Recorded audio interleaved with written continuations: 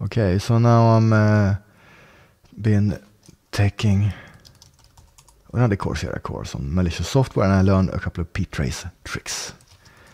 So I'm going to go back to the beginning and enable debugging, remove the stripping. So this is the file. So the trick is this.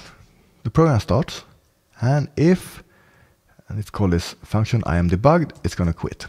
Else it's going to do some secret stuff, which is actually only printing a few lines, but it could be secret stuff that you don't want to be uh, able to be debugged. All right. So let's see how this works. I'm going to run the program. It does secret stuff. Yay. And if I run under the debugger, no debugging please, and I'm gonna quit with exit code 1. And it actually also works under strace.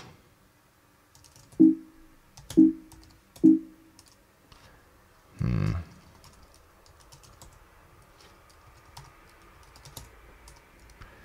No debugging please, and it also works under ltrace. No debugging please. But if I uh, now debug it and say that I want the source view and start it, because I have debug information now it's going to be very simple to debug if I am debugged, well, I could just skip the whole function, or I could step into it and see, hmm, let's see. I just don't want to be return 1 because then uh, it's going to think I'm debugged. I want it to return 0. So let's see what I can do to make it return 0. Uh, out. So let's just check assembly code. So we see something happens here, blah, blah, blah, blah, blah. And here's the interesting thing called ptrace. So maybe if I can just skip this line or see what happens. Uh, I'm not really sure what happens, but let's just try to skip this line and just continue and see if, if AX, which is the register that holds the return value, is correct. So go forward a couple of instructions.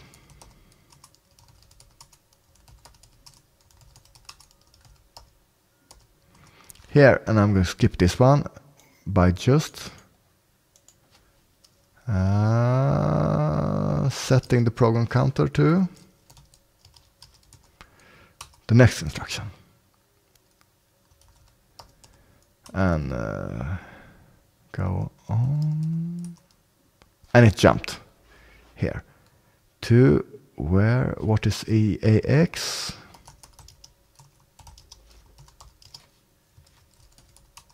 it's zero. So it's going to return with the value zero. Great. So go back to the source layout.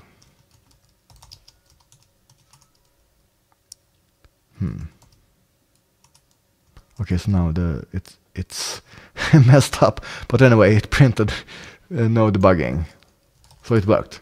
We managed to skip it by just uh, skipping one uh, machine code line or one assembly instruction. So to make it a little bit harder, remove the debug information. I change the compiler options here uh, by uh, skipping this and inserting the strip line again. Recompiling. And now, if you look and objdump-d disassembles this trace test, then, well, we have nothing to compare with because I didn't disassemble before. But you can see here, it doesn't know where the function starts and begins. It knows where, where the libc stuff begins and ends, but it doesn't know uh, from dot text here, uh, here, dot text, then it doesn't know anything what happens. It's just machine code. Uh, but it can uh, understand what instructions it is. Okay, so if I run it, uh, okay, doing secret stuff and under debugger, like strace. Hmm, no debugging, ltrace, no debugging, GDB. Run should say no debugging please. And if I step now let's see what should I do? If I object dump again. I know a little bit about this program now because I, I looked at the source. I know that it's the crucial instruction here is the ptrace this this one. And uh, here I can see the address. So let's just put a breakpoint at this address. Mm -hmm. Break. Uh, okay, so now I want to see the assembly code. I want to see the registers too. So I don't want to call this ptrace, but I want to skip this one. Set program counter to woohoo! I actually just skipped over the, this call to ptrace. And as we saw before, this was actually enough to circumvent this anti-debugging. So I could just run continue and it should work like a charm. And it does, no debugging. So what I can do now, if I run objdump again, I can see here, uh, let's find it, here, E89DFEFFFF. If I could just patch the binary, so this does nothing. And there is an uh, assembly instruction that's called no operation or NOP, and it's uh, coded as 90 hex. So if I just put 90, 90, 90, 90, 90 here, then uh, I could skip this completely and just make the program skip skip over it and continue at this XOR EDX EDX. So let's hex edit and find this E89DFE FFFF. E890, E890, E890.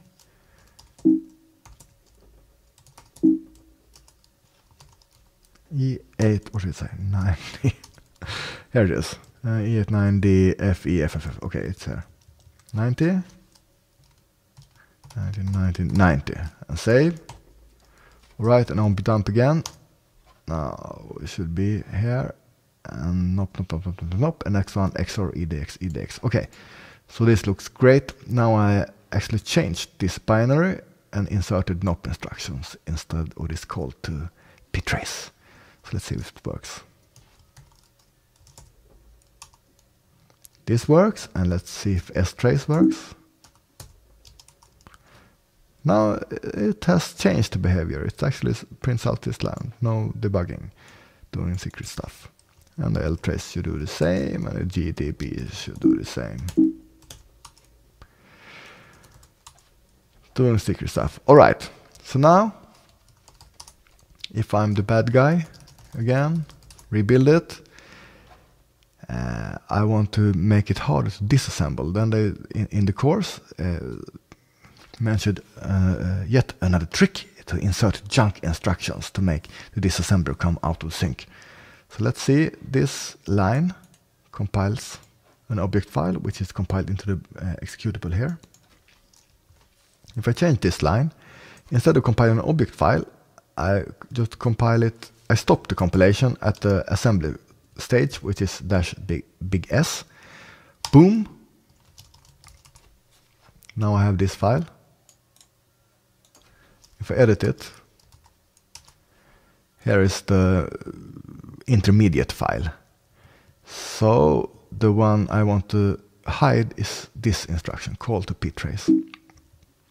So what I can do is no, insert some junk instruction here. So I can just insert some junk and what a junk, maybe 4883. But uh, now when I come here, XOR EX, EX, EX, and then it's going to try to execute this 4883 and it's just junk and it's not going to work. So I'm going to insert another instruction here, which I just checked a little bit uh, in the manuals and I found out that 02EB, this is the machine code to jump over two bytes. So it just jumps relative forward two bytes. It's going to jump over these two bytes and continue executing here at this instruction. Uh, but the trick here is that uh, if everything works correctly, it's going to confuse the disassembler and make the disassembler come out of sync and decode these instructions after here, this jump, incorrectly. Let's see if it works. Let's first see uh, here, instead of compile it from the object file, compile it from the assembly file, which we have modified. And now see object dump, uh, trace test, dash D to disassemble. And this I am debugged. Whoa, whoa, whoa, whoa, whoa, whoa. And here's the jump. And here's the junk instruction. And it's indeed out of sync. Hmm. What happened? It's indeed out of sync. And this is decoded as bad instructions. And somewhere here it it uh, gets into sync again. And now here it's in sync and it's decoded correctly. But these instructions, somewhere here uh, in the badly decoded instructions are the, the one we wanted to hide, the call to ptrace. All right. So let's see if we can circumvent this again with GDB.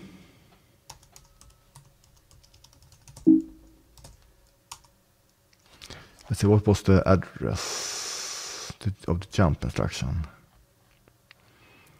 Here, this one. Let's put a break breakpoint here.